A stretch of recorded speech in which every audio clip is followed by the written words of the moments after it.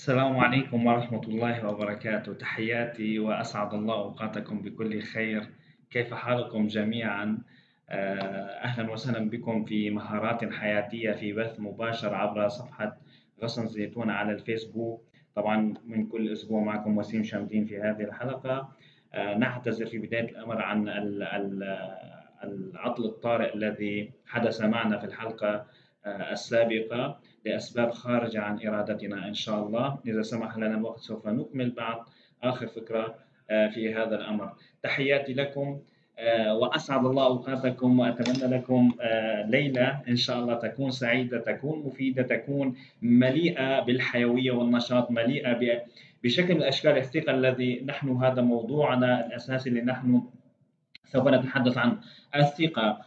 كثير ما نواجه في في في في حياتنا أناس يعانون من من فقدان الثقة يعانون من عدم وجود هذه الثقة في في في في التعامل مع الحياة، في التعامل مع الآخرين، في التعامل مع الكبار، في التعامل بمواقف الحديث أمام الآخرين أو في مقابلة عمل أو في مكان آه، يحتاجون إلى هذه الثقة التي هم يحتاجونها، كلنا نحتاج إلى الثقة وتحتاج هذه الثقة أن نعززها بشكل مستمر وأن لا نكتفي بأننا عملنا هذا الشيء. الثقة هي كالنمو. تتعزز بتعزيز الأشياء التي نقوم بها باستمرار من خلال تطوير أنفسنا من خلال تطوير هذه الشخصية من خلال تطوير معلوماتنا وتحديثها باستمرار لأن المعلومات لها دور كبير في منحنا الثقة لأننا عندما نمتلك معلومات هذا الشيء يمنحنا ثقة أكثر مما إذا لم نملك هذه المعلومات. يقول الدكتور إبراهيم الفقي في كتاب قوة التفكير لو شعر الإنسان مثلا بالخوف من شيء ما يفتح له العقل ملفا للخوف من هذا الشيء. وكلما واجه الشخص هذا الخوف سواء بالتفكير فيه أو بوجوده أمامه مباشرة تتصاعد الأحاسيس ويتراكم الخوف في ملف الخوف.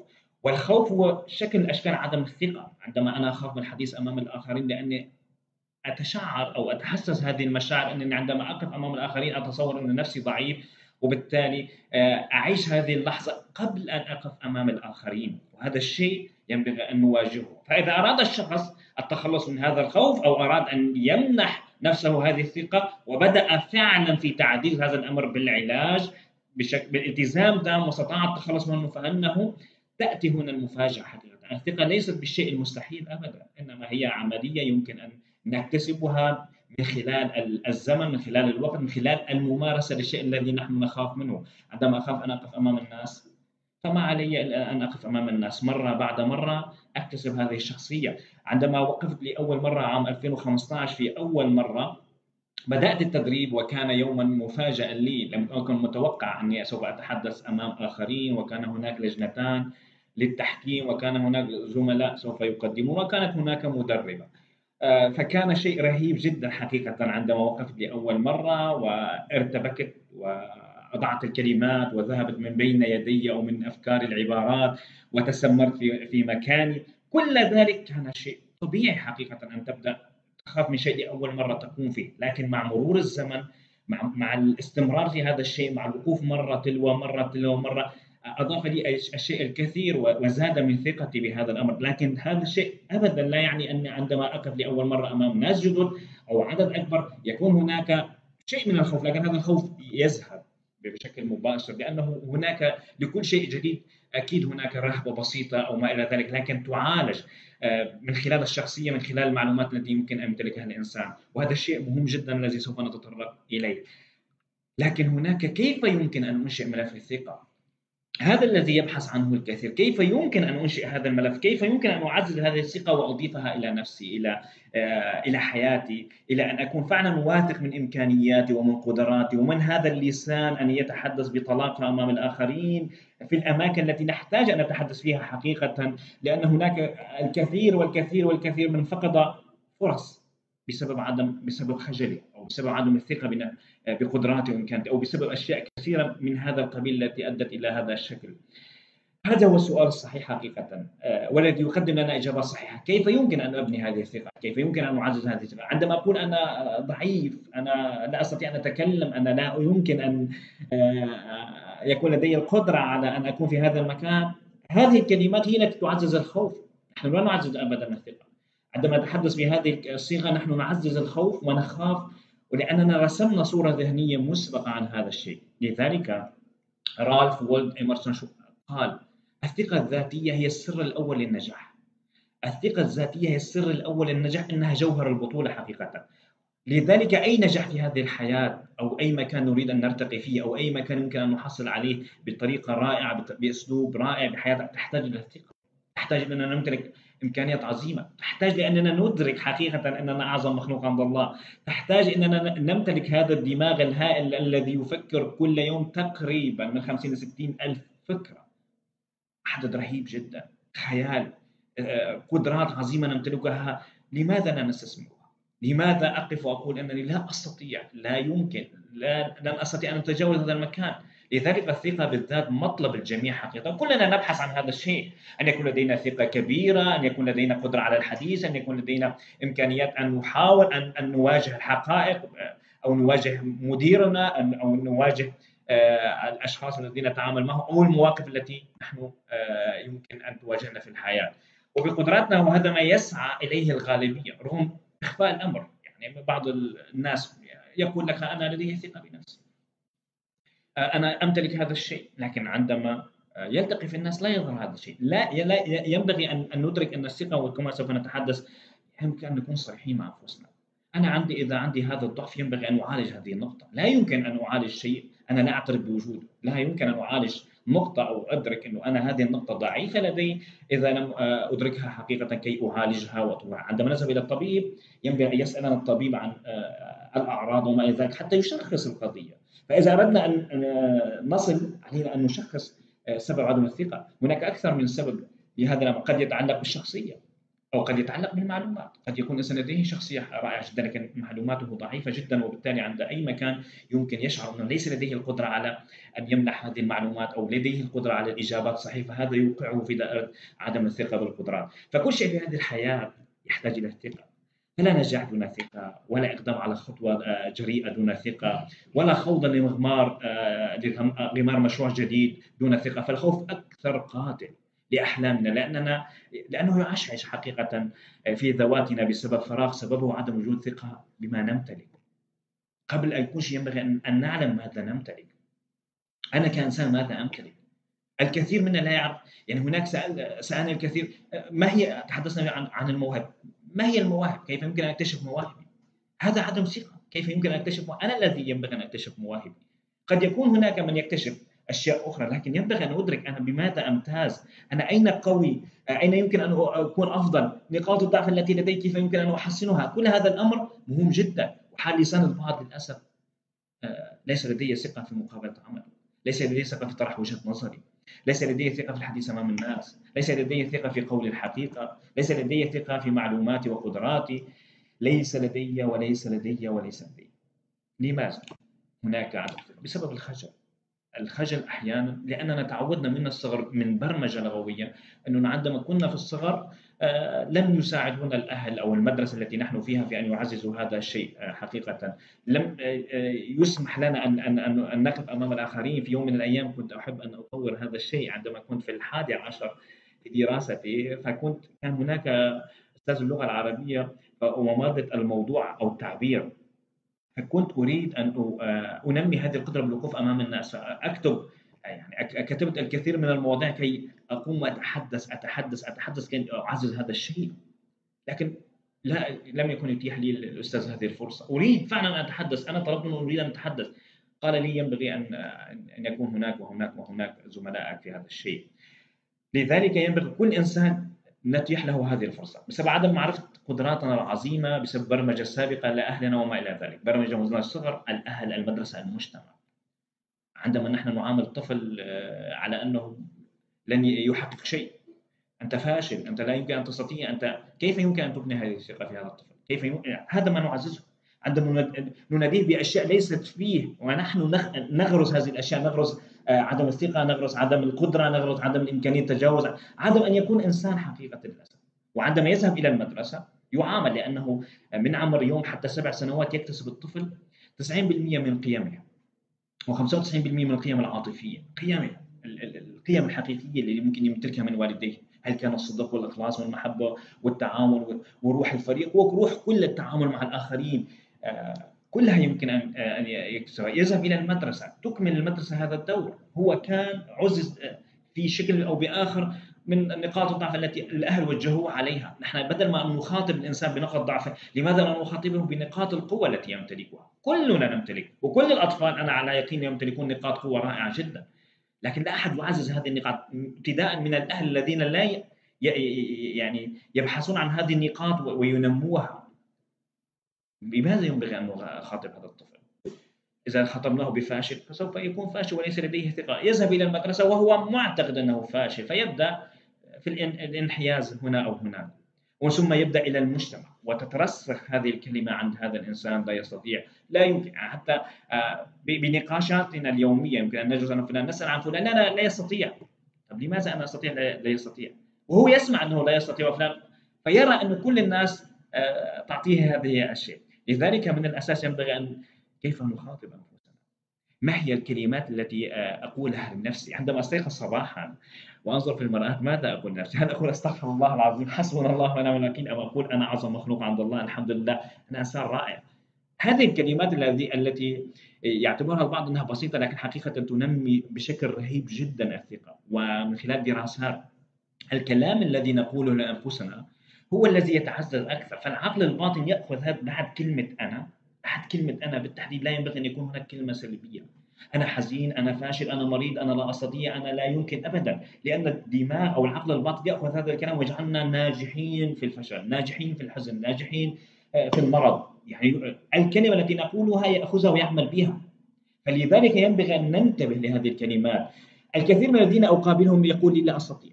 أنا لا أستطيع. لماذا؟ من قال لك لا تستطيع؟ من قال لك لا تستطيعين؟ اليوم آه، كنت أتحدث مع أحداهن. فسألتني إنها لا تستطيع أن تحفظ كثيرا وهي تدرس الثانوية وعمرها 40 عام. كان رائع جدا قلت لها ممتاز جدا هذا الشيء اللي أنت تقوم فيه. تعودي إلى مقاعد الدراسة وتدرسين وتشجعين نفسك بشكل آه، آه، عظيم جدا. وهذا الشيء أنت تستطيعين؟ من قال لك لا تستطيعين؟ قالت هي لا نستطيع عدم الثقة يتعلق بالتربية. له دور كبير جدا. آه، الأهل هم إما يعززون الثقة بالأطفال أو ينتزعونها بها، الأطفال الطفل يخلق. الطفل لديه خوفين فقط، الخوف من الصوت المرتفع والخوف من السقوط. وما دون ذلك أو كل ذلك يكون مكتسب، نحن من نزيد هذا الشيء، لكن بعض المواقف والأشخاص يفقدونك ثقتك بنفسك، لا. الثقة نابع من من الداخل، إذا أنا كنت مؤمن بنفسي وبقدراتي وأعلم ما لدي لا أستطيع عن أحد، لذلك أريد أن أنبه لهذه النقطة حقيقة. هي أنه لا نتعود أن يعني نحقق نجاحاتنا بناء على شكر الآخرين. يعني أنا أقدم شيء عندما يأتي الطفل لكي يعطيني كاسا من الماء فأقول له شكرا لأنك أعطيتني كاسا من الماء. وليس شكرا لأنك رائع جدا. ينبغي أن ينتبه انه الشكر على العمل وليس لأنه فقط مجرد الشكر.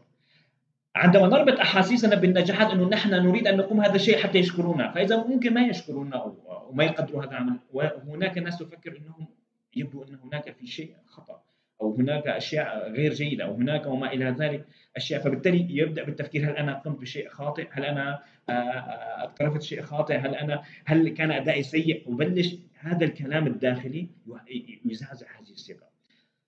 الأهل والمدرسة أكثر شيء بيأثروا في الثقة. حقيقة هذا الأمر لأنها مكتسبة المدرسة والأهل وهذا دورنا اليوم نحن آباء وأمهات أن نقوم بهذا مع الجيل القادم كيف يمكن آه، أن نعمل هذا الشيء. آه، ودورنا إذا نحن وعينا هذا الأمر فيمكن نحن آه، نعطيه للآخرين. أحمد عم نجار يقول الصدق من أساسية الثقة هو الركيزة الأساسية. راح أتحدث عنها لاحقا هو الركيزة الأساسية الصدق والنزاهة في هذا الشيء. محمود حميدي الثقة تضعف تضعف بعض الصدمات القوية وتعزز إذا كان سندك قويا سندك إذا كنت أنت قويا وهو هذا الأمر. قال اليابانيون شو؟ لماذا نريد قال إذا وقعت فقم فورا. مرة بعد مرة. كل ما توقع وقف ما تبقى تحت حتى تعزز ثقتك إنك. إذا الصينيون وقعت على تقع على ظهرك كي ترى النجوم. هذا التطلع لحياتنا هو الذي دوما يكون السند القوي. عندما أنا أكون أمتلك معلومات قوية أنمي شخصيتي أتحدث أمام الآخرين. مثلا جميل جدا هذا الحوار والنقاش. وفي كثير من التدريبات آه، نريد أن نحدث الآخرين. تحدثوا.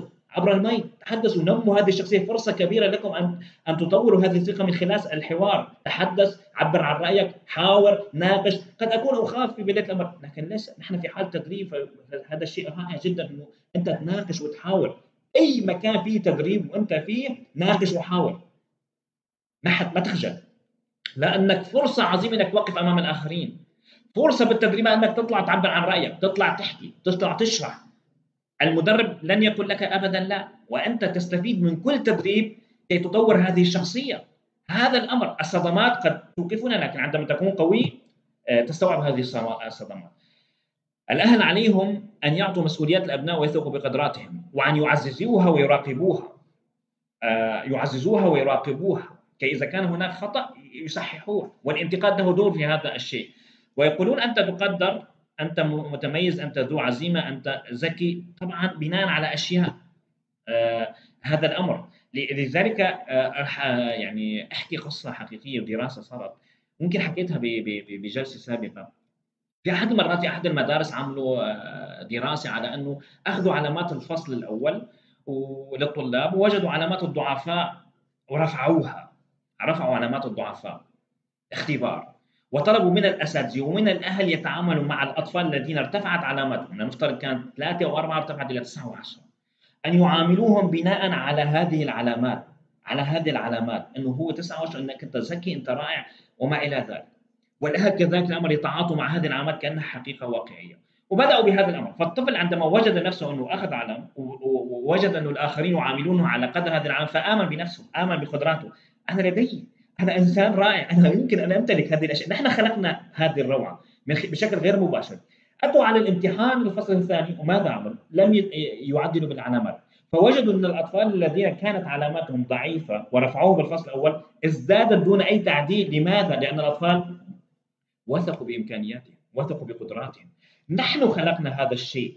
اذا في العملية التعليمية ينبغي أن يكون هذا التعزيز. ينبغي هذا هذا الأمر أن نحن نعامل الطلاب على أنهم هم ليس بناء على علاماتهم. ليس بناء على علامات في في دول لا يوجد علامة صفر ولا يوجد علامة اثنين أو ثلاث يعني لا يوجد لا يوجد علامة صفر ابدا. هذا إنسان لا يمكن أن يأخذ صفر. هذا الإنسان يتعب يحضر يتعلم يحضر ويكتب لا يأخذ صفر لا يوجد صفر. علامات للعمل الذي عم يقوم به. آه، تكرم أن يكون رتم الكلام أقل سرعة. تكرم تكرم أستاذ محمد علي. آه، أحسنت شكرا غيري أو جحودة لا يؤثر في فعلي أكيد أكيد الحافز الذاتي هو الأهم. علينا أن نخلق هذا الحافز الذاتي آه، بشكل حقيقي. ومن هنا بعد كلمة أنا لا تضعف ثقتنا بسبب عدم التقدير الذاتي. المفهوم الذاتي للإنسان هي الصورة الذاتية. أنا كيف أرى صورتي الذاتية؟ كثير ناس هذه الصورة الذاتية اللي هي مسيطرة على تفكيره إنه هو كل ما بيتخيل نفسه بيتخيل نفسه ضعيف. صدقوني آه، في كثير من التدريبات التي أنا أقوم فيها أتخيل نفسي وأرسم صورة ذاتية قبل أن أحضر هذا التدريب وأرسم آه، لنفسي هذه الصورة أني اقف أمام الآخرين وأتحدث بطلاقة وأعبر عن عن الأفكار التي أقولها وأرى الناس والتفاعل من خلال هذا آه، الكلام من خلال الحوار ومن خلال النقاش وأرى كل أرسم كل هذه الصورة. أرسم كل هذه الصورة وأعيش هذه الصورة. هذه الصورة الذاتية المفهوم الذاتي. ماذا أقول لنفسي عندما اقف في المراه هل أنا معجب بهذا بهذا الشكل. هي أول قضية. هل أنا راضي عن شكلي؟ أم لا؟ ينبغي أن أرضى. ينبغي أن أرضى عن شكلي وأنطلق أنه أنا أرضى عن شكلي. أنا كيف ممكن أن أطور الذي أستطيع أن أقوم به؟ المفروض ننتبه لهذه الكلمات التي نقولها لأن الكلمات الإيجابية تعزز هذه الثقة بشكل كبير جدا. الكلمة وقع الكلمة علينا له دور حتى على أنفسنا وحتى على الآخرين عندما يقولونها لنا. يقول الدكتور ديفيد آر هاوكنز في كتابه القوة مقابل القوة أو power force إن قوة الفكرة يمكن قياسها. تصوروا ان قوة الفكرة يمكن قياسها. فقد قرر أن الاختلاف بين آه، في القوة بين فكرة المحبوب والفكرة الحلوة اللي نتحدثها عن أنفسنا وإنه نحن رائعين أو جيدين أو آه، آه، ممكن أن نحقق أشياء عظيمة جدا من 10 ل 35 مليون ميجا وات والفكرة المخيفة عن أنفسنا السلبية التي ممكن نحن نأخذها انه لا استطيع آه، غير ممكن أن أتجاوز هذا الأمر. ضعيف خائف خجول. هي من 10 ل 750 مليون ميكرو وات هائل جدا هذا الفرق. ويفوق قدرة التصور البشري حقيقه يمكن أن أعيش أسبوع كامل على كلمة إيجابية رائعة جدا. ممكن يكون مديري أو من الناس بيعزز الثقة. يعني أحد أحد آه، الصبايا اللي كانت عم تحكي لها عن قصة حدثت معها طلب منها مديرها المباشر أن تعد تقرير معين. فهذا التقرير بعد أن أعددته آه، أعطاها إياه فوجد فيه أنه في ملاحظة بسيطة وهي موظفة جديدة. آه، قام قال رح نشوف بكرة موظف ثاني في شيء أنت مخطيه يعمله شخص ثاني ليه؟ أنت هل عززت الثقة مع هذه الموظف أم أشعرتها بالحرج أو يعني حست إنه في شيء ضعف؟ دور المدراء اليوم عززوا الثقة. الآخرين بأنفسهم. دور المدراء يبنوا هي الثقة في, في الآخرين. دوري أنا كشخص كإنسان أن أرسم سيناريوهات للآخرين لأن أنا بتعاون معهم. إنه دوما ندفع الثقة مثل الإيجابية إنه أنت دوما تضل إيجابي مع الناس. لأنه الإيجابية شيء آه، لا يمكن ان اخذه مرة أو مرتين فقط في الحياة. ابدا. ينبغي أن يكون بشكل مستمر حتى تزداد هذا هذه الثقة وتكون آه، مبنية على أشياء آه، حقيقية وواقعية بشكل مهم جدا وجدا وجدا. هذا الأمر ينبغي أن ننطلق من خلاله. إذا حكينا هناك للثقة أربع مستويات حقيقة أربع مستويات. نبدأ بالمستوى الأول اللي ممكن طرحه الأستاذ هلا هي النزاهة أو الصدق. النزاهة أو الصدق. عندما أوظف الناس فإنني أبحث عن ثلاث أشياء وكل الناس تبحث عن ثلاث أشياء وكل المؤسسات ينبغي أن تبحث عن ثلاث أشياء. هي النزاهة الأول هو النزاهة الشخصية. الثاني هو الذكاء والثالث هو المستوى المرتفع من الطاقة الإيجابية. يعني الإنسان عندما نوظف شخص ليكون نزاهة شخصية. ذكاء معلومات وقدرات ومستوى مرتفع من الطاقة. إنه يكون إيجابي يكون عنده حماس. لأنه لأنه الثلاثه مكونين لهذا الأمر. لكن إن لم تجد الأول فأن العنصرين الثاني والثالث لا قيمة لهم. سوف يقتلونك يعني اذا ما انسان في عنده نزاهة. مهما كان عنده ذكاء مهما كان عنده حماس ابدا. لا يمكن أن يكون رائع جدا. هذا الكلام مش إلي هذا الكلام نوار بافيت الرئيس التنفيذي لشركه بيرو اشاير رجل ملياردير نجح في نجاح العالم يوظف الناس بناء على أساس أشياء. لكن أول شرط هي النزاهة الشخصية والنزاهة الشخصية هي اللي بتعطي الثقه أصلا للإنسان في عندما يكون الانسان صادق مع نفسه ومع الآخرين يعطي أشياء عظيمة جدا. كيف ممكن نعرف النزاهة؟ بالنسبة لكثير من الناس فان النزاهة تعني الأمان.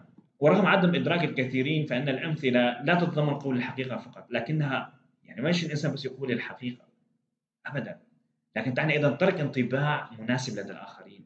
ترك انطباع مناسب لدى الآخرين. فالممكن ان أن تقول الحقيقة ولكن ترك ولكن تركك لدى الآخرين انطباعا سيئا هذه ليست سمة الأمان. يعني أنا اذا بدي احكي كلام حقيقة لكن تركت انطباع سيء ليست سمة شخصية. في شيء اسمه النضج العاطفي. وهو إنه أنا دوما إذا أردت أن أنتقد الآخرين فانتقد مع مراعاة الشعور والأحاسيس واحترام الآخرين. أريد أن أنتقد الخطأ وليس الإنسان. فهذا الأمر عندما يكون الانسان صادق عندما الإنسان يعمل عن نفسه هذا الشيء عندما أكون أنا صادق اليوم أحكيها بشكل حقيقي في حياتنا. كثير ناس وأنا عجبني أحد الأصدقاء اللي قدم على الكثير من الوظائف. قال في في أحد الوظائف أنا ما ما أروح عليها يطلبون المقابل. لأنه أنا صادق مع نفسي إنه أنا ما عندي المعلومات الكافية لهذه الوظيفة. وبالتالي لما ما بيكون عندي هي المعلومات الكافية فأنا ليش لحتى أكون في مكان أحرج فيه؟ هذه الثقة. هذه الثقة إنه أنا لازم أشتغل أكون صادق مع نفسي. أنا ضعيف في هذه النقطة كيف يمكن أن أنمي هذه النقطة؟ كيف يمكن أن أساعد نفسي بهذا الشيء؟ هذه تمنحني الصدق والنزاهة وما إلى ذلك. هذا شيء أساسي. كيف يمكن أن نزيد هذا الأمر بشكل كبير جدا؟ فعلا المقارنة الاولاد بغيرهم محبطة ويجب أن نقارن آه، تطور الطفل الآن بالماضي. هذا شيء أساسي المقارنة آه، هي خاطئة دوما عندما نقارن أنفسنا بالآخرين. ينبغي أن نقارن آه، أنفسنا بما بأنفسنا فقط. كيف كنت وكيف أصبحت وكيف سوف أصبح؟ أنا اليوم في بداية 2021 كيف أقارن نفسي اليوم؟ أنا بداية العام ما هي مع إمكانياتي قدراتي مواهبي وما إلى ذلك أكتبها. في نهاية العام ماذا تعلمت شيء جديد علاقات على مستوى العلاقات. العلاقات تزيد الثقة. كل ما بصير الإنسان عنده علاقات أكثر بيرتاح اجتماعيا بشكل كبير جدا وبصير عنده إحساس أكثر في أنه هو يمتلك القدره على التواصل مع الآخرين. اذا أين الخبرة كعامل التعيين؟ ليس ما شرط يكون في الخبرة بكل المؤسسات. الذكاء الاجتماعي يعني في قدرة. الذكاء عفوا الذكاء يعني هناك في قدرة وخبرة. لكن ما ما نفع الخبره إذا ما في نزاهة شخصية. ما نفع الخبره إذا ما كان في طاقة وحماس حقيقة. الخبرة ركن من الأركان لكن في كثير مؤسسات اليوم آه، تذهب إلى إلى السمات الشخصية حقيقة. السلوك. إذا أردت أن توظف شخص آه، فقارن ما بين لديه مهارات آه، ولديه سلوكيات. لا توظف الشخص فقط على مهاراته لأن المهارات ممكن أن تعطيها إياه لاحقا. لكن وظف الشخص على سلوكياته وأخلاقه.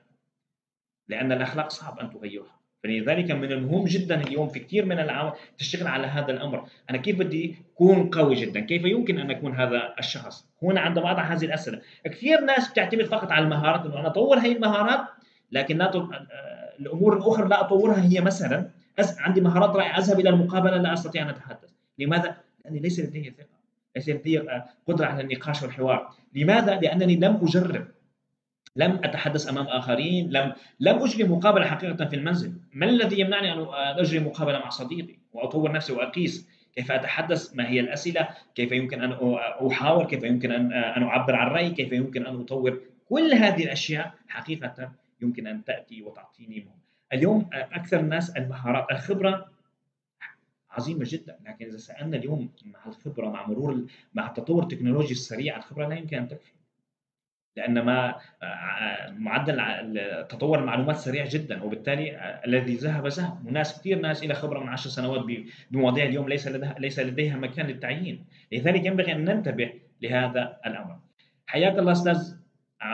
بس بشكل عام المشكلة مو بالدورات. أغلب المتقدمين بيلاقوا صعوبة بسنوات الخبره المطلوبة يعني اللي مو مشتغل مستحيل ينقبل بس إذا عمل دورات. آه، اريد هو غير موضوعنا لكن أريد أن أوضح آه، هذه النقطة. آه، الخبرة ممكن أن احصلها في الأعمال التطوعية. حقيقة الأعمال التطوعية ممكن أن احصل فيها خبرة. يعني عندما أتطوع وأعمل هذه خبره حقيقة وأمتلك هذا الشيء. لكن ليس كل الوظائف تطلب خبرات. أحكي قضية معينة. عندما وعملوا دراسة وجدوا أن العلاقات 80% كل مرة بنحكيها و20% السيره الذاتيه يعني السيره الذاتيه كلها 20% واللي ضمن منها الخبرة فبذلك اليوم أنت عندما تكون واثق من نفسك وعندك قدرات أنك تبني علاقات اجتماعية، ليش الناس ضعيفة ببناء العلاقات الاجتماعية؟ بسبب ضعف الثقة. ضعف الثقة بالحديث بالحوار إذا ذهبت إلى اجتماع معين إلى أو مؤتمر معين أو إلى تدريب معين لا أعلم أحد أبقى منعزل حتى ينتهي التدريب، لماذا؟ لماذا لا أطلع أناقش وأحاور وأطور نفسي وأتعرف على فلان وأتعرف على فلانه. ويكون كل هذا الشيء مهم جدا جدا جدا. آه الحامدة آه لله.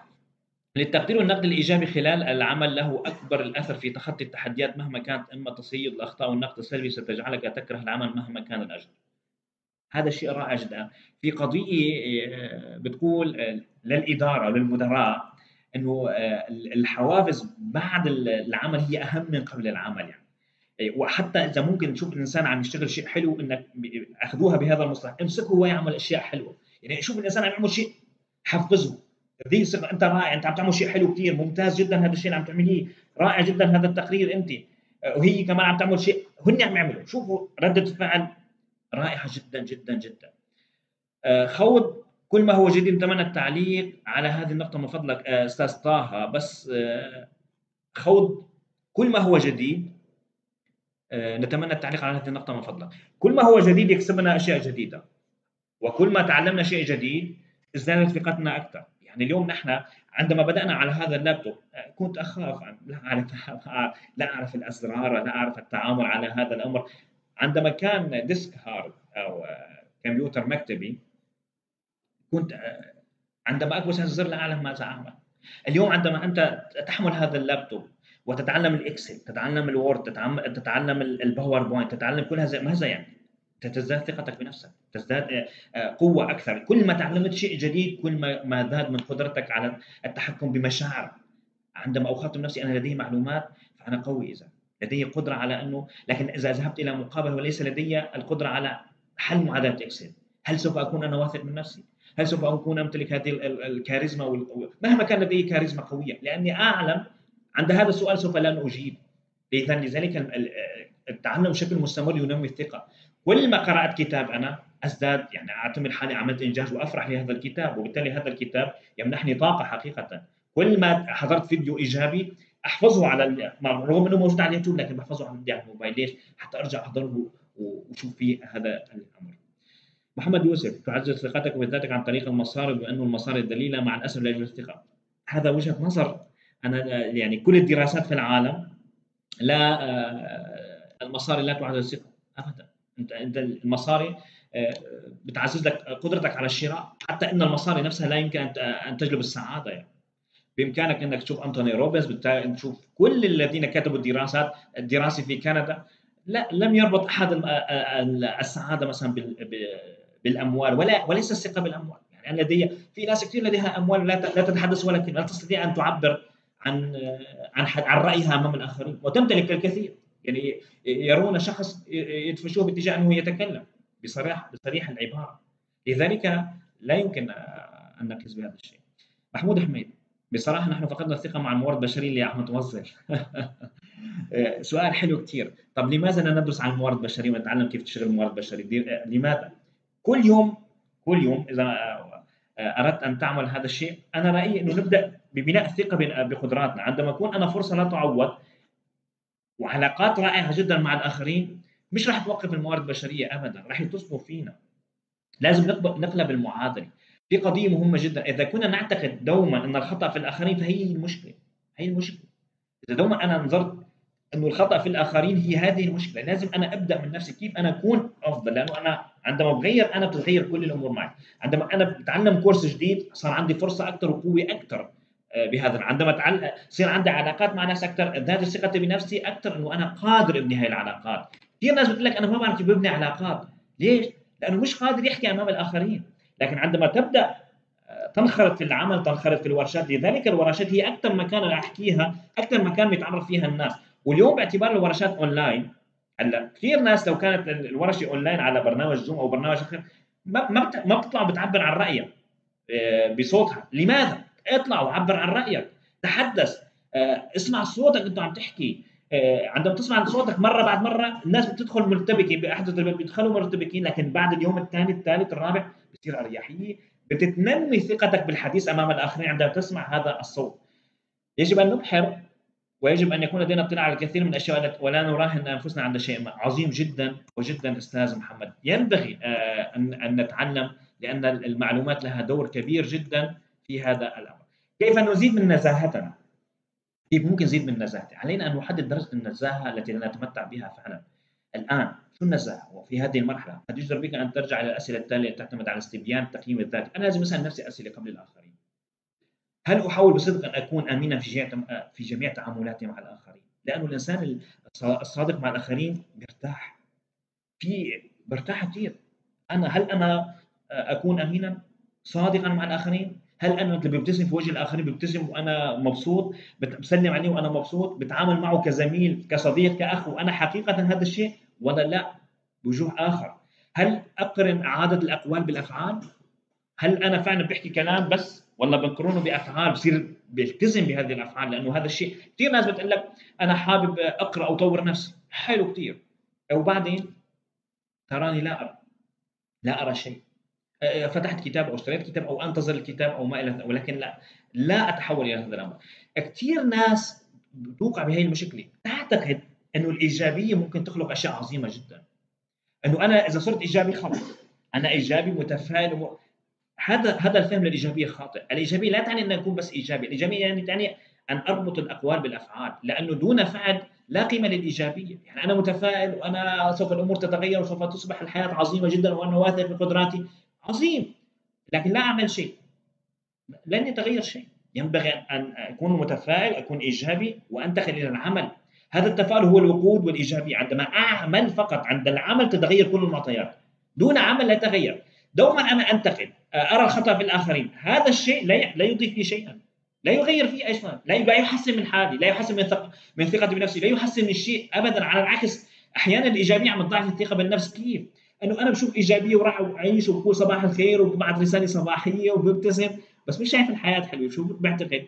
والله المشكلة فيني اذا إنه أنا يعني مش عملت شيء إيجابي بس ما فعلت. فبعتقد إنه أنا هذا الشيء آه، ضعف. إنه أنا كنت إيجابي وما تغيرت حياتي. لكن بعلم الفيزياء عندما يحدث الفعل تحدث الرد.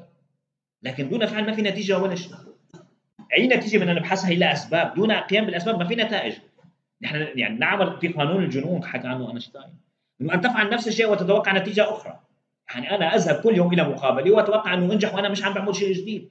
مش عم بحسن بلغة الجسد تبعي مش عم بحسن بشخصيتي مش عم بحسن بمعلوماتي مش عم بستفاد من كل عملية. كيف لن يتغير شيء. أنا عم بسبب وقتي. هل أنا واضح بشأن قيم قيم. قيم كثير مهمة جدا قيم ما هي قيم؟ هل أنا صادق أمين؟ بحترم الآخرين عندي إحساس بالمسؤولية العامة خصوصا بموضوع الوظائف والأمور. هل أنا أذهب إلى الوظيفة لأني فقط اقرن وظيفة بالملهم؟ أنا أذهب لأنه واجب علي أن أكون فعلا. هل هذا الراتب الذي آخذه حقيقة أستحقه من خلال الأعمال؟ هذه قيم حقيقية. هل أشعر بارتياح في الدفاع عن هذه القيم؟ عندما تكون حقيقة قيم حقيقية كل إنسان يعني إذا دفعت عن النزاهة والصدق والأمان أكيد ما راح أشعر بأنه شيء آه، خطأ فيني. لكن إذا دفعت عن شيء مش منطقي. وإنه أنا خلقت تبر... آه، تبريرات لأشياء مش مش آه، موجودة هذا مشكلة جدا أو حالات سلبية. هل أنا منفتح على إمكانية معرفة حقائق أخرى؟ قد تدفعني إعادة التفكير في المشكلات أو حتى إعادة نتيجة قي...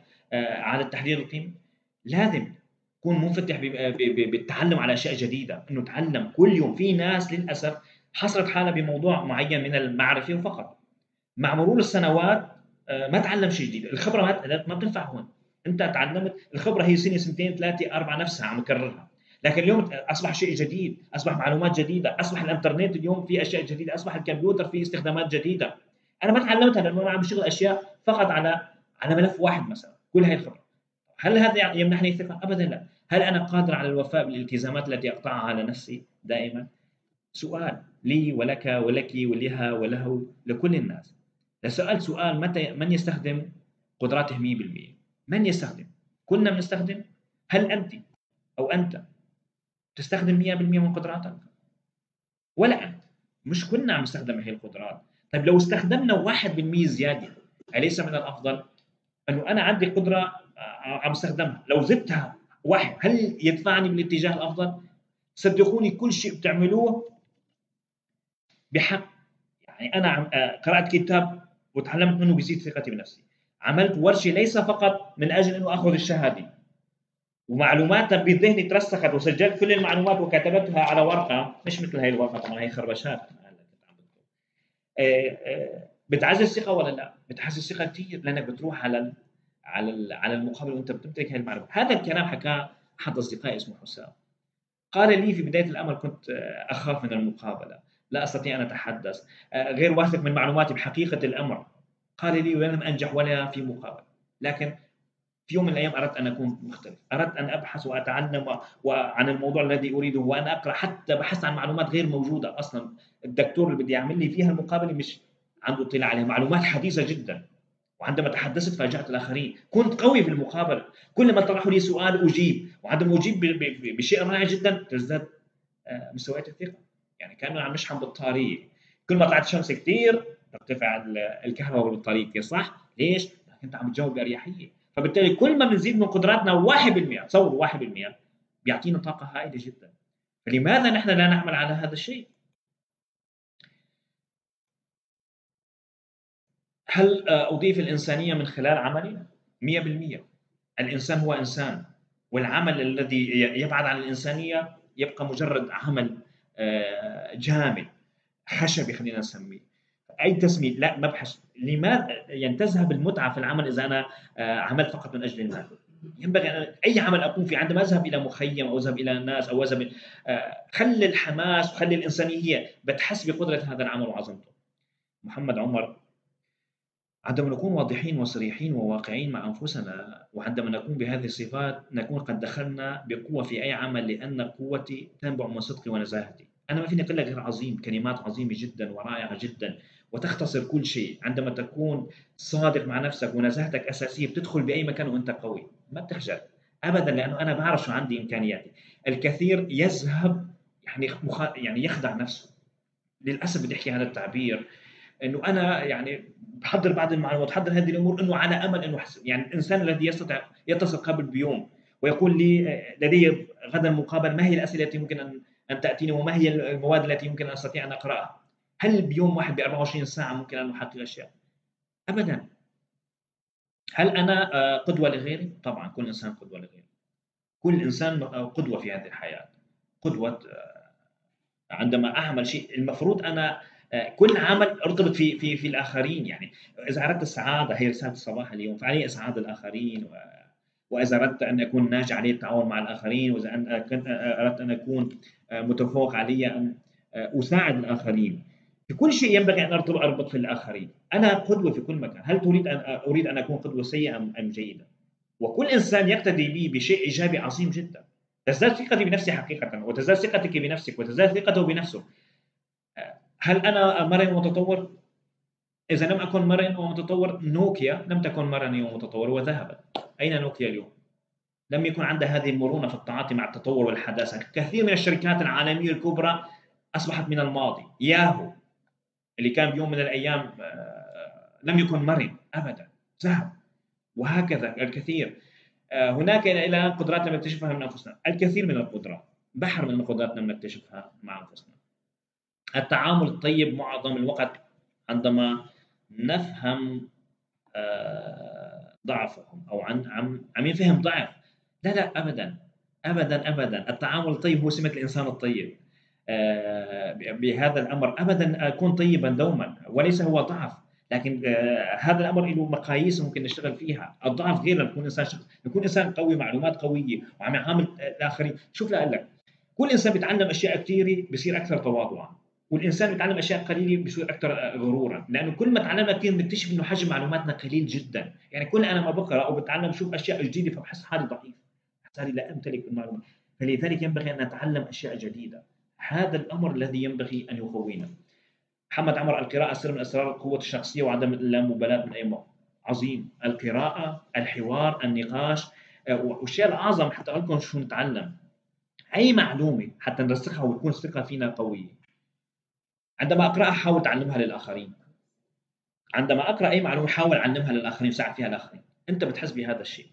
القراءة تزيد معلومات وكمان معلومات تعطي الثقة والقوة. أكيد أستاذ يحيى. القراءة لكن كل معلومة بتقراها وبتتعلمها حتى تكون واثق منها انقلها للآخرين. تترسخ عندك أكثر وبتكون فيها قوة أكثر أول اي في القرآن اقرأ ومن هنا العبرة. اقرأ. حقيقة نداء لكل البشريه أنك تقرأ لأن القراءة هي كل ما قرأت وتعلمت أكثر شعور كلنا يعني عندما نكون في الجامعة أو في البكالوريا اليوم عندما تنتهي من عندما تذهب امتحان البكالوريا خلينا نقول بهذا الأمر عندما أكون أنا محضر وقارن منهاج أكثر من مرة وفهمان كيف بتكون ثقتنا بأنفسنا رائعة جدا لكن عندما أكون غير مبالي رايح وأنا متخوف مرتبك.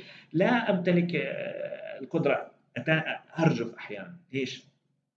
لأنه مش حضرت جيد. هذا الشيء لازم ننتبه عليه.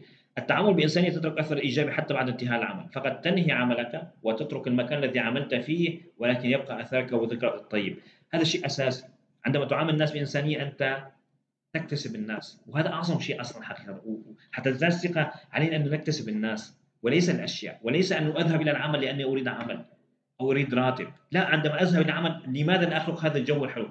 كل ما العلم كل ما زادت معارفك الاجتماعية كل ما أنت صرت تعيش بأريحية أكبر. لأنه كنت بتحس إنه أنت محبوب من الآخرين بتحس من إنك أنت شخص آه، كثير عندي صديق وقد يكون قريب مني جدا الان آه، فعلا عندما يكون آه، تمنحه ثقة حب الناس. كنا إذا بنشوف الناس بتحبنا بيزيد من ثقتنا طب ليش هاي الثقة حب الناس اجى لنا؟ لأنه نحن عم نخدم الناس وبنساعد الناس وبنحب الناس. فبالتالي ردة الفعل شو بدها تكون؟ مباشرة عندما أريد أن أقدم لأحد وردة. لا يمكن أن أن يحتفني بطوب حقيقة بالعكس يمكن يعطيني وردتين كلمة طيبة ممكن يعطيني. فهذا كله بيعزز هذا الأمر. القضية الأساسية رح احكيها في الثقة أنك أنت تكون مبادر. لا تنتظر من الآخرين قبل أن تقدم. قدم أنت لكل شيء تريده لكل شيء تريده. حتى الثقة أنت قدم لها. الثقة لا يعني لا أنا انام وأصحى أوه أنا واثق بنفسي عظيم رائع جدا. لا تحتاج إلى أن نحن نعمل عليها بشكل كثير مهم جدا. الأساس الثاني شوف شو هو النية تصور. النية. الأساس الثاني الذي يتعامل مع مسائل الثقة هو النية وهذا الأساس يتناول دوافعنا وأهدافنا الخاصة وسلوكنا الناتج. يعني نيتي أنا ليش؟ لوين عايش بهذا؟ معنى حياتي لوين؟ ليش صح؟ الإنسان بيكون عنده أهداف واضحة ومحددة وعنده دوافع حقيقية وتعتمد على المصلحة المشتركة. بعباره أخرى عندما لا يكون اهتمامنا بأنفسنا فحسب لكنه ينسحب كذلك على الأشخاص الذين نتعامل معهم أو نقودهم أو نخدمهم. فإننا عندما نشك في وجود أجندة خفيه لدى شخص ما أو لا نصدق أنه يعمل لمصلحتنا فإننا نبدأ بالشك في كل شيء يقوله ويفعله. حقيقة زرع هذه الثقة في الآخرين تنعكس علينا بشكل إيجابي وبديل، إذا أردت أنا يعني أكون واثق في نفسي في التعامل مع الآخرين أنا لازم أعطيهم هذه الثقة، أوثق فيهم وأتعامل معهم من خلال المصلحه المشتركه، من خلال إنه أنا موجود هون لكون جزء وليس شخص جزء شو دوافعي في هذا العمل؟ هل هي دوافع إنه أنا أدخل فقط لأعمل أم أكون ضمن هذا الفريق وضمن هذه الروح وضمنها وبناء البيئة الثقة المناسبة فلذلك ما هي دوافعنا؟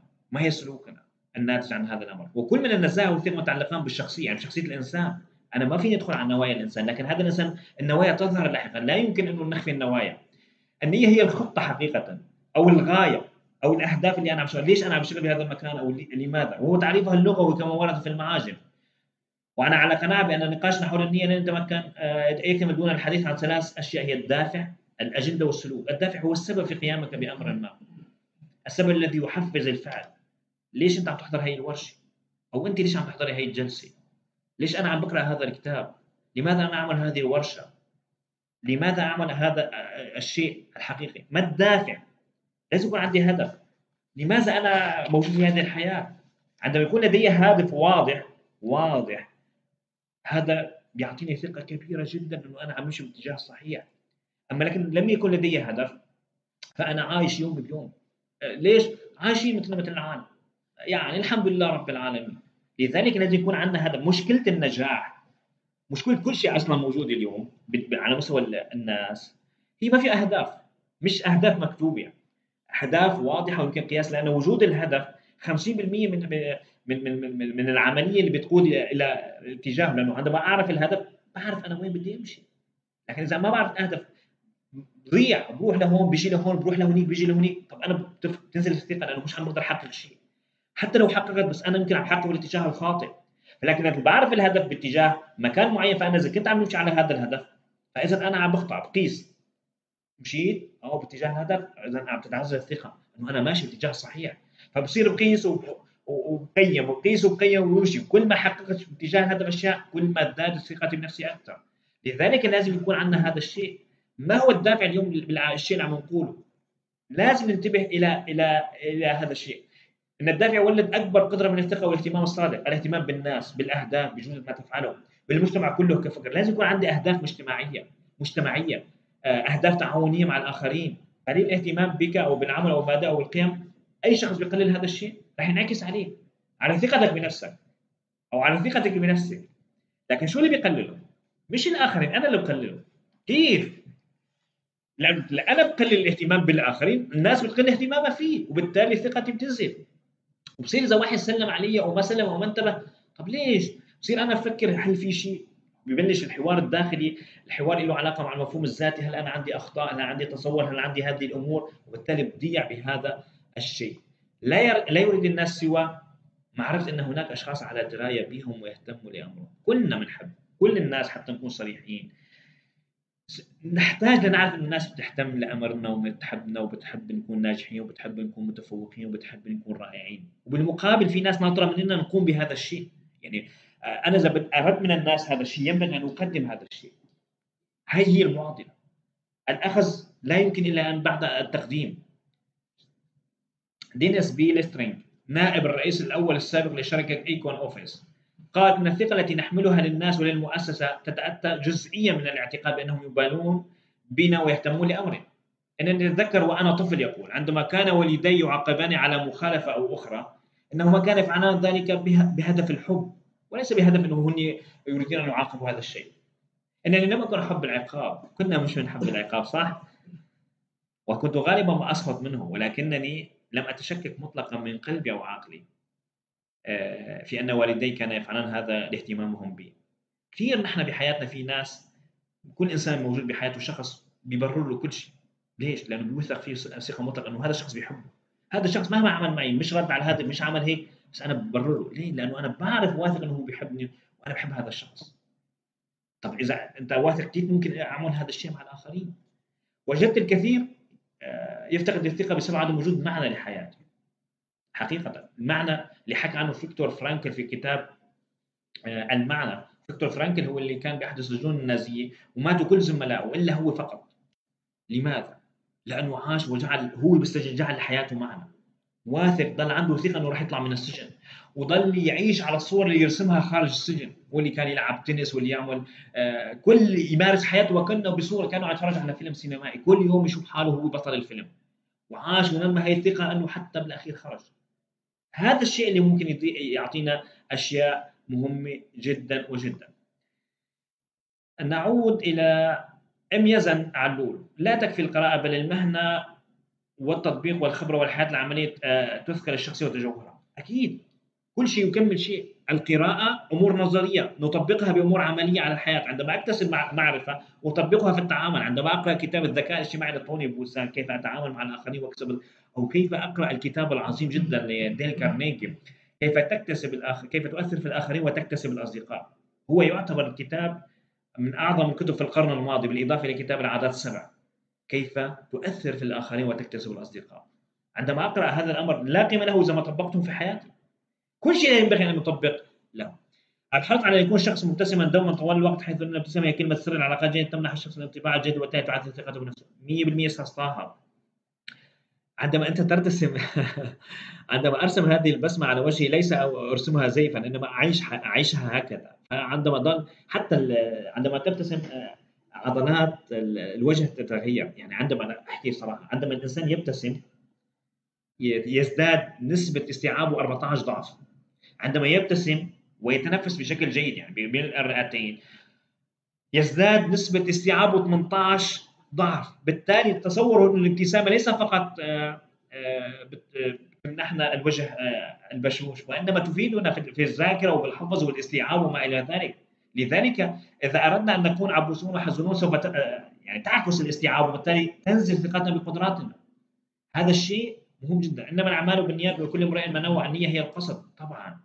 عندما تكون نيتك صالحة تمشي فيها وانت ثقة لأنه الضمير ماشي مع هي النية. عندما يكون نيتي إنه أنا أكون رائع مع الآخرين وكون صادق بهذا البرنامج وأقدم هذا البرنامج بقدر ما أستطيع من صدق وأعداد وأنه هدفه منه مساعدة الآخرين وليس شيء آخر حقيقة.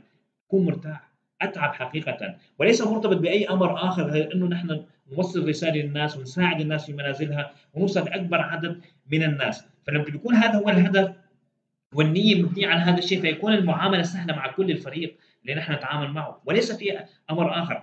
لذلك أحيانا المال يدمر النوايا.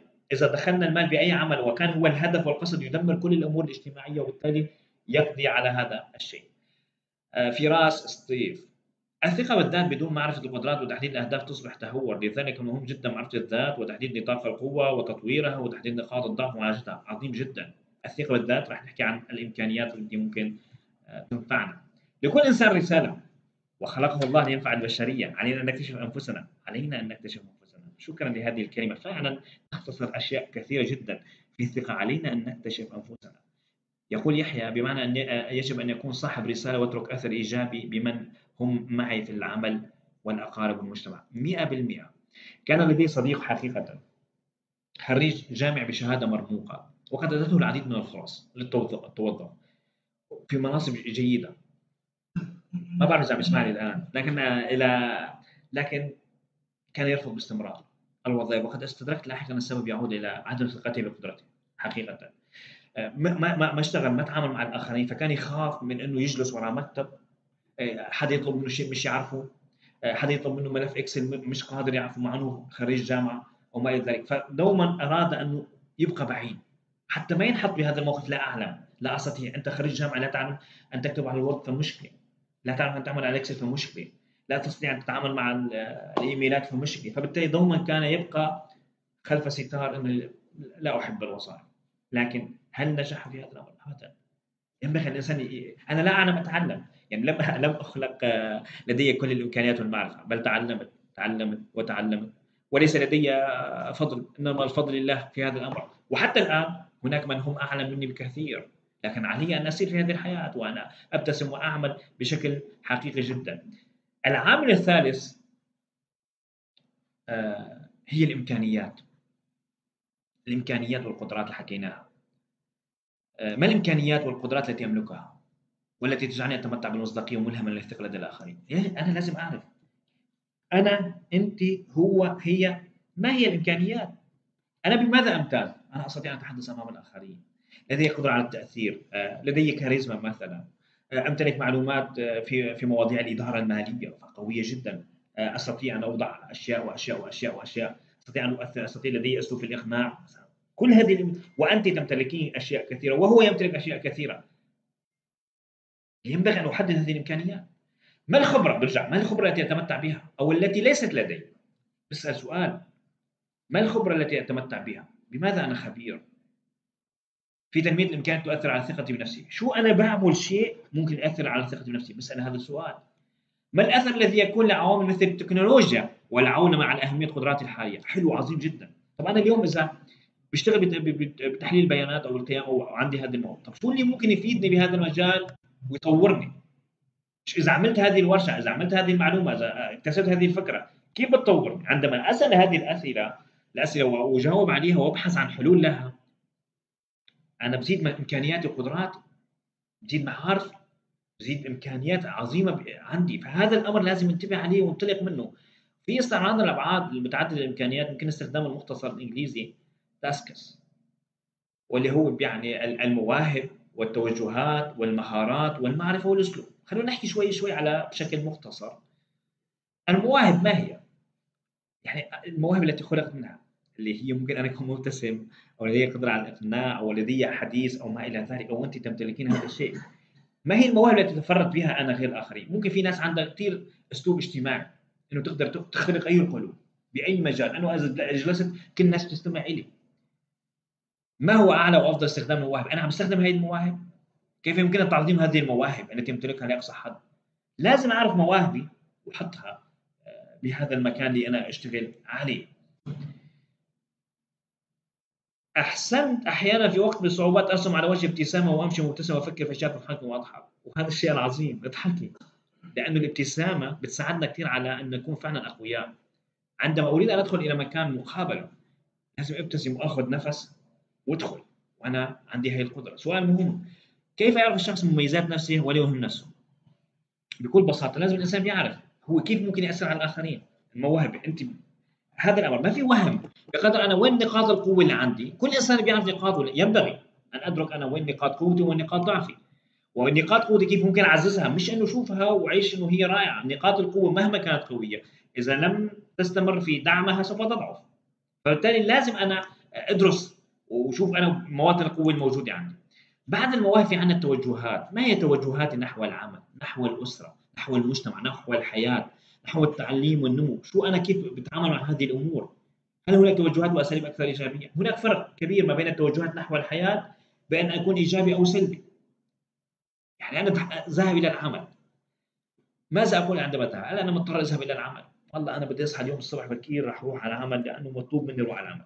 بينما أنا أشعر بحماسة حقيقية في الذهاب إلى العمل حيث يمكن استخدام مواهبي ومهاراتي والإسهام في الحقيقة في هذا. ليش كثير ناس اللي بيحبوا العمل تبعهم بشوفهم رايحين على العمل قبل الوظيفة؟ الدوام الساعة 9 بشوفوا الساعة 8 ليه؟ ما اللي اللي خلاه؟ توجهاته نحو العمل لأنه بحس برغبة كبيرة بالعمل عم يقوم بحس بمتعة بهذا العمل. هاي التوجهات أساسية. إذا أنا كرهان العمل فهناك شيء بيأثر على هاي الثقة بقدراتي. فلازم أنا أنتبه لتوجهاتي. بالنسبة لشريك الحياة اللي أنا عايش معه أو الأسرة. إذا كنت أنا توجهاتي بتكون شريك حياتي لا يفي باحتياجاتي في الزواج. مش مش آه عم يجلس معي مش قاعد معي مش مهتم لأمري مش مش مش كثير أشياء. أو سؤال العظم ليش ما بيكون توجهي بعكس ذلك؟ ما الذي يمكن فعله؟ لمساعدة شريك حياتي ليكون سعيدا وراضيا هي توجهات فريد. إنسان مش مش معي مش أي زوجين مش عم يتعاملوا مع بعضهم. في عندهم ثقة وما إلى ذلك بأنه هو عنده آه، هذه القدرة. طب أنا كيف ممكن أساعد الطرف الثاني حتى يكون رائع؟ لو بساعده أنا حتى يكون رائع بينعكس علي بكل بساطة. عندما أذهب للعمل وأنا بكل رغبة وبكل ايجابي بينعكس علي وعلى ثقتي بنفسي وعلى قدراتي وتعاملي مع زملائي في العمل. بينما أنا ذاهب الصبح تعبان وداخل تعبان وراسي عم يوجعني وأنا كرهان اليوم اللي جاي فيه على الشغل. كيف بدها تكون ثقتي بنفسي وتعامل الآخرين معي؟ ممكن ما حد يدخل علي على المكتب. ويوم بعد يوم يوم بعد يوم رح أحس حالي أنا منعزل. ليش؟ لأنه أنا خلقت الانعزاليه مش الآخرين مش حابين يتعاملوا معي. بس لأنه أنا مش عم أتعامل معهم. هذا الأمر لازم ننتبه عليه بكل آه، بساطة. بعدين عندنا المهارات. المهارات التي امتلكها هي المهارات العملية اسمها التقنية. هل أنا أستطيع الكتابة على الإنترنت؟ هل أتحدث لغات؟ هل أنا أمتلك القدرة على أعداد ميزانيات، موازنات، أعداد مشاريع، تقارير إنجاز، آه، مهاراتي في الإلقاء؟ والتحدث مع الآخرين، آه، مهارات كثيرة جدا. ما هي هذه المهارات؟ لازم أعرفها، لازم أكتب حكينا المواهب، التوجهات، المهارات، أعرف هذه المهارات. شوفوا بعد الفوز ببطولة الأساتذة ب 12 ضربة محققا رقما قياسيا في عام 1997 وفي مرحلة مبكرة من مشواره المهني قرر مين؟ تايجر وودز المعروف على نحو واسع بأنه أفضل لاعب جولف في زمانه أفضل لاعب جولف في زمانه جولف وقف وجلس قال أنا بحاجة لتطوير طريقة في تسديد التصويبات وكان مستعدا يدفع ثمن هذا عاما ونصف من حياته. من الركود ترك اللعب ضل سنة ونص يبحث كيف يطور نفسه. جلس. أنا صحيح أفضل لاعب لكن لا يعني إنه أنا آه، ما بتطور. وقف عن إنه أفضل لاعب جلس سنة ونص يشتغل على هاي المهارات ويطور نفسه. حتى بالأخير حقق ما أراده. لكن اليوم هل نحن نعمل هذا الشيء؟ هل أنا أقف وأطور نفسي باستمرار؟ هل أنا أحرق نفسي أم أستمر؟ كثير من الناس الذين يريدون أن يدخلوا بالتدريبات يصبح مدرب أو مدرب رائع عظيم جدا تراه يبحث على أنه آه، يبدأ فورا من دون ما يطور نفسه من دون ما يعني عمل TOT أو عمل دورة معينة ودخل إلى العمل سوف يحرق نفسه أنا أحتاج أن أتعلم يوم بعد يوم يوم بعد يوم وأسأل وأقرأ وأبحث وأكون أنا اسلوبي الذاتي وأكون أنا مادتي حتى تكون قوية. كيف يمكن أن أطور هذه المادة؟ كيف يمكن أن أضيف هذه الأشياء الرائعة جدا؟ يمكنك أن أن تحظى بأسبوع رائع حتى لو لم تكن تسديد مضربك جيدة لكن هل يمكنك البقاء في المنافسة على البطولة بهذه التسديدة؟ أبدا. يمكنك اليوم تكون بوظيفتك وتحظى بوظيفة رائعة جدا. لكن في المستقبل إذا تطورت المعلومات هل أنت جاهز لأن تنافس أم سوف تسقط؟ لماذا الكثير لماذا لا نسأل الكثير؟ لماذا لا يجدد لهم؟ سؤال أنا لم يجدد لي في الوظيفة. دوما أقول آه، أنهم لا يحبوني أو واسطات. طب هل أدركت أنه أنا ممكن يكون السبب؟ أنا لم أطور نفسي لم أبحث عن ذاتي لم أبحث عن أن أكون أفضل لم أعطيهم الشعور بالحماس والقدرة والتعاطي مع الآخرين. الذين لا يجدد لهم ليس بسبب المهارة في كثير من الأحيان لكن بسبب السلوك وبسبب الأخلاق أحيانا. لذلك ينبغي أن أن أهتم بهذا الشيء هل نطرح على أنفسنا أسئلة من هذا النوع كما أستطيع أن أبقى منافسا قويا في مجال عملي كل واحد يسأل قديش أنا بستطيع أنه أنافس في مجال عملي؟ إذا فتحت المجالات هلا بيعملوا بالمنافسة إنه نحن نبقى بالمكان اللي نحن فيه. قديش بستطيع أن ننافس؟ إذا افترضنا مراحل خروج للمغلوب، خلينا ناخذ هي، قديش أنا بستطيع حتى أوصل للاربعه الأوائل؟ هل معلوماتي وقدراتي وثقة بنفسي عندي هذا الشيء ولا أنا لازم أطور هذه الأمور؟ هل أتقدم بشكل أفضل أم لا؟ لذلك يجب أن ننتبه.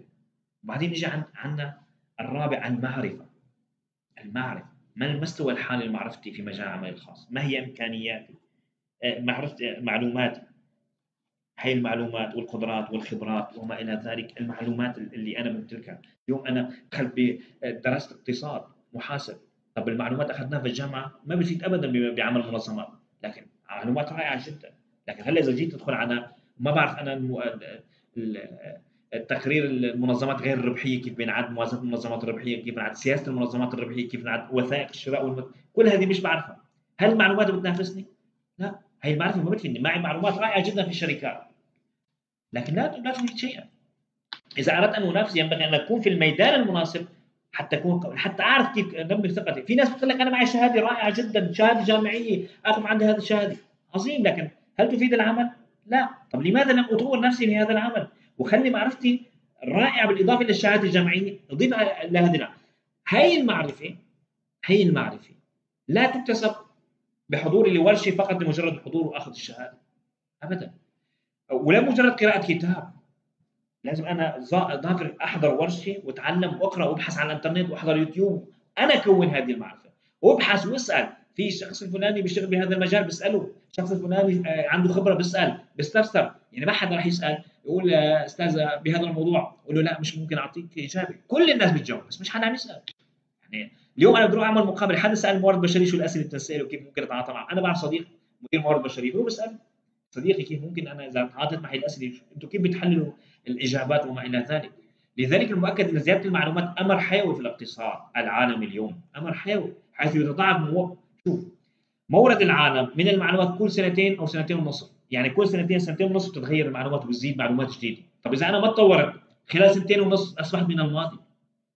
اليوم اللي صار له ثلاث سنين أو أربع سنين بالوظيفة وما تطور بمعلومات جديدة أصبح من الماضي، الخبرة تبعته أصبحت من الماضي، حتى ما يحكي في المستقبل ويقول إنه عندي خبرة، المعلومات تحدثت كلها، أنا خبراتي بما مضى، حلو عظيم جدا، لكن ما مضى أصبح من الماضي، اليوم لازم حدث معلومات، كان هذا في العصر الصناعي، العصر الصناعي كانت الخبرة ضرورية جدا، لأن نمو المعلومات بطيء جدا، لكن اليوم بعصر التكنولوجيا إذا أنا مش كنت عم بمشي بنفس السوية مع مع التطور بصبح من الماضي، تصوروا إنه أنا عم عم سابق مع التطور المعرفي. كنت معه؟ كيف تكون ثقتي بنفسي؟ كيف بتكون أدائي؟ كيف بيكون معلوماتي؟ إنه أنا بحصل آخر المعلومات لدي معلومات الجديدة في المراقبة التقنية أو الاداره الماليه أو اداره المشاريع أو اليوم الأساليب الجديدة بالأساتذة والتعليم في المدارس لدي أسلوب الجديد من فترة آه، شاب هندي أخذ جائزة أفضل معلم في العالم.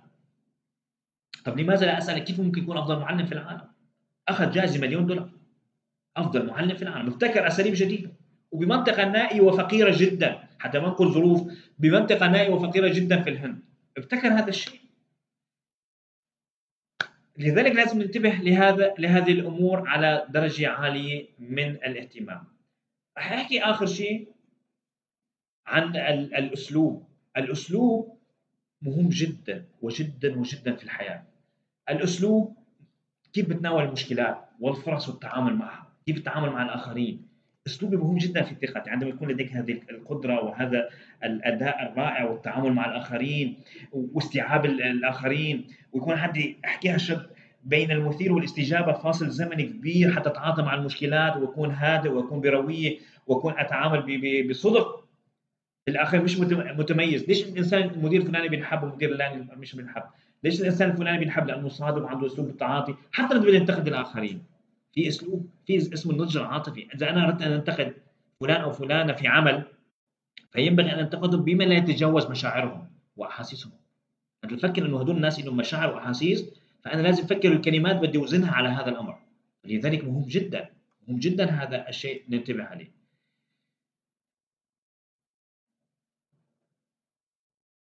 كل شيء حوالينا عم بيأثر على نفسيتنا. عم تقول داليا. وثقتنا وأدائنا على على كل المستويات سواء الشخصية أو على مجال العمل أو على مجال العمل. بتروح على الشغل بكافة النشاط والحيوية بس بتصدم بكل شيء حواليك. سؤال حلو كثير كثير طب ما دام هن عم يتأثروا ليش أنت ما بتأثري فيهم؟ إذا في تأثير إيجابي وفي تأثير سلبي، أنا اللي عم بروح عم خلي السلبيين يتأثر، كيف أنا ممكن أخلق؟ كيف ممكن أنا أثر على الآخرين وخليهم إيجابيين؟ هون خليني تقول إنه الايجابي صعب، لا، اكتبي سؤال كيف يمكن أن أكون أكثر تاثيرا في عملي في الغد؟ شو لازم أعمل حتى أكون مؤثرا؟ أنا رايح أكون إيجابي.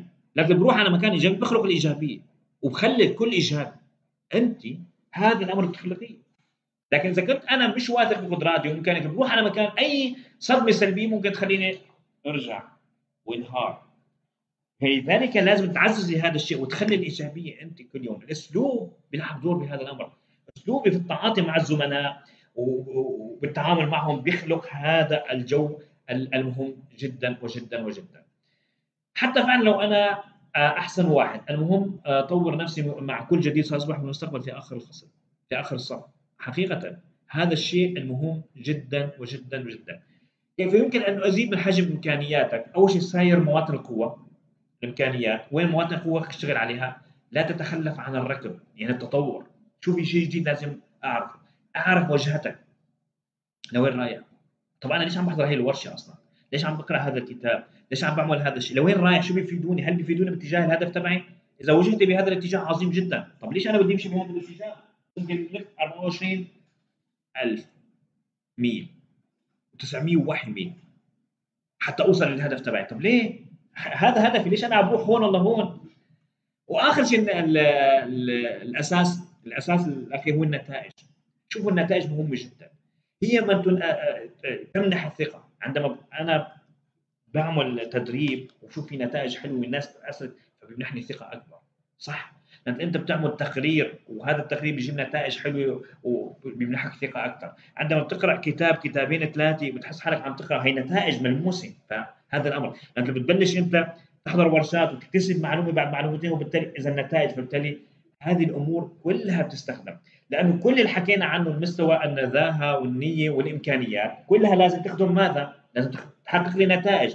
إذا كانت هي النتائج حلوة كثير وبالتالي أنا أنتبه عليها وانتبه انه هي موجودة احقق أشياء عظيمة جدا. صدقوني عندما ما اقرا كتاب بعتبره آه، وخلصت هذا الكتاب بفرح فيه وكأنه نتيجة عظيمة جدا. وهذا بيمنحني الثقه إنه أنا انجزت كتاب بسيط. عملت ورشة وأنجزت الامتحان وتجاوزتها أعطاني هذا الإحساس. لذلك كل ما سبق ممكن أن يحقق لنا الثقة بالنفس لكن قد يكون الخوف من التطور والتغيير سبب في استمرار هذه الثقة ابدا. إنه لازم يكون عندنا تطور مستمر حتى مهما عملت إذا أنا عندي خوف من إنه أنا أتعلم شيء جديد وأتطور وما إلى ذلك بخليني ضعيف. فنحن نحتاج إلى النمو والتطور بشكل مستمر وهذا يمنحنا قوة وتدفق حيوي أكثر ويجعلنا أكثر مرونة التعامل مع الحياة ومتطلباتها كل هذا بيمنحنا. رح أختصر كل شيء. خلصنا. رح أختصر كل شيء. عندما أريد أن أكون واثق من نفسي أول شيء لا أخاطب نفسي بأي كلمة سيئة. أنا أعظم مخلوق عند الله. أنا أمتلك قدرات رائعة جدا. أنا فعلا فعلا فعلا أنت أقرأ عن نفسك أقرأ كتاب آه، قوة عقلك الباطن لجوزيف ميرفي. شوف كم أنا عظيم. شوفوا قديش عندنا إمكانيات نحن مش عم نستخدمها. لذلك أنا مش ابدا أنا حزين أو أنا ضعيف أنا غير واثق بنفسي. أنت أعظم مخلوق. وعيش على هذا الأمر. واشتغل كل الكون خلق لأجلك. فاذا لماذا أنا أستسلم للياس والاحباط وما إلى ذلك؟ بعد هذا الأمر أربع أساسيات. النزاهة الصدق شيء عظيم جدا. النية الصادقة وأعرف عندي أهداف لأنه الأهداف بتقويني. وبعدين الإمكانيات شوف قيس امكانياتي اللي هي مكونة من المواهب والتوجهات والإمكانيات والأسلوب المتبع. كل هذه الأمور أنا والمعرفة والمهارات كلها قيسها وبعرف شو هي وبعد منها كل هذا الشيء بيحقق لي النتائج. عندما تحقق نتائج وأصبحت عم تمشي على الهدف انت عم تمشي بتحقق هذا الشيء. بتمنى نكون فعلا آه، تحدثنا بشكل حقق أشياء آه، كثير حلوة ومفيدة جدا بهذا الأمر. الذكاء العاطفي حلو كثير آه، يعتبر الذكاء العاطفي. هذا بالتعامل. لازم نقرأ الذكاء العاطفي، لازم نقرأ كتاب دانيال جولمان الذكاء العاطفي. لأنه الذكاء العاطفي بيخلينا كيف واذا في كانت قضية المارشميلو للأطفال كيف وزع لازم نعرف نحن هل نستعجل طرق النجاح أم نسير على الطريق الحقيقي. في ناس بتحب تاخذ طرق مختصرة الطرق المختصره ما بتجيب لي نتيجة. الذكاء العاطفي أول شيء بالذكاء العاطفي شو هو؟ إنه نحن نكون واعيين بذاتنا يكون عندنا وعي بذاتنا بقدراتنا بامكاناتنا هي أهم شيء. وبعدين اهتم بمشاعر الآخرين وما إلى ذلك. كل هذا الشيء إذا اشتغلنا عليه رح نحقق أشياء كثيرة جدا. رح أقول كلنا رائعين جدا كلنا عندنا إمكانيات حقيقية أنت وانت وهو وهي والله العظيم مش مجاملة. مش كلام وسيم هذا الشيء. هذا كلام الأبحاث. روحوا شوفوا الأبحاث واقراوا قديش نحن عظماء. لكن إحنا لا نستخدم هذا الشيء. لأن فلان أو فلاني قد أخبرونا بأننا لا نمتلك هذه القدرة. لا أنت تمتلك. إذا أردت انت أن تمتلك.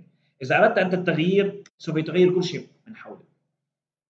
هذا الكلام مش مزح جرب وراح تشوف النتائج. كل التحية كل التقدير كل الاحترام للجميع. وأتمنى لكم آه، ليلة هانئه وثقة من الغد أن نبدأ في برنامج بهذه الثقة ويحقق لنا الاشياء العظيمه والسلام عليكم ورحمة الله وبركاته.